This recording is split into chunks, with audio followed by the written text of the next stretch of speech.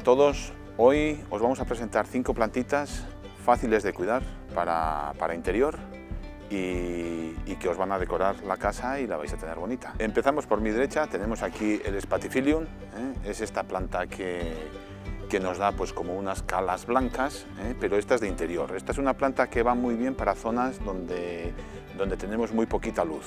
¿eh? Una planta especial para zonas de poquita luz, no necesita mucha agua, tendríamos que regarla aproximadamente, dependiendo de la época del año y del calor que tengamos en casa, pero cada 10-15 días eh, habría que hacerle el riego eh, a la planta.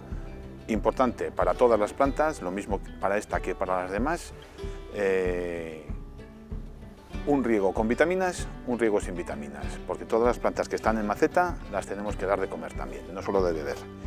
Tenemos luego el Anturium, ¿eh? el Anturium este concretamente es una variedad de flor pequeña, de flor menuda, y es una planta también muy resistente para interior, con poquita agua, cada 10-15 días, parecida al, al Spatifilium, y, igual que el Spatifilium también hay que darle nutrientes, no solo agua, también nutrientes.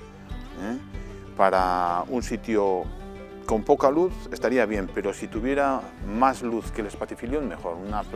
Un sitio con claridad que no le dé el sol directo sería el idóneo. Tenemos luego las guzmanias, que estas prácticamente se pueden colocar en cualquier sitio, pueden ir con mucha luz o pueden ir con poca luz, ¿eh? en cualquiera de los dos sitios.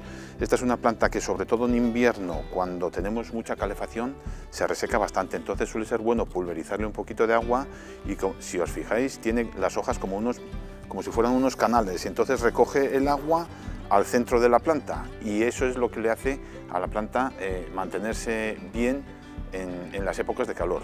Calcular que esta planta vive eh, normalmente en las copas de los árboles, en las zonas tropicales, entonces eh, cuando, como hace mucho calor el agua se le evapora muy rápido, entonces todos los días llueve y se recuperan el agua, ese es el depósito de, de agua como quien dice para la planta.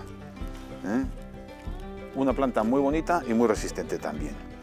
Agua, pues a esta la deberíamos de dar agua, pues calculamos que una vez por semana. Una vez por semana un poquito de agua, un riego con vitaminas, uno sin vitaminas. Luego tenemos el calanchoe, esta me imagino que la conocéis todos. Esta es como un cactus, una planta muy resistente, muy fácil de hacer, se puede colocar incluso a pleno sol o en una zona de interior, pero con mucha luz, ¿eh? que tuviera mucha luz tiene su época de floración y luego la planta se va propagando, va haciendo mucha hoja y, preparará la flor del año siguiente.